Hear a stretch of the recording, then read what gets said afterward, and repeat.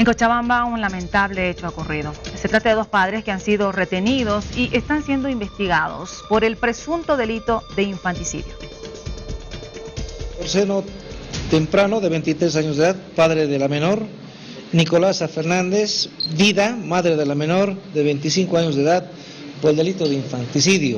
Ambos son los padres de una bebé de seis meses que según la hermana de la mamá, habrían provocado la muerte de la pequeña y la habrían llevado hasta un poblado de Potosí para enterrarla. Eh, hecho ocurrido 5 de noviembre, en fecha de 5 de noviembre del presente, a horas de la madrugada, y posteriormente la ocultaron. La denuncia verbal de la señora Santos Fernández, eh, hermana de Nicolasa, o sea, de la madre de la menor, manifiesta que su cuñado, Gilaro Catorceno, y su hermana habrían quitado la vida a su sobrina Giovanna Catorceno Fernández, de seis meses. La policía espera la autopsia del cuerpo de la bebé para determinar las verdaderas causas de la muerte de la pequeña.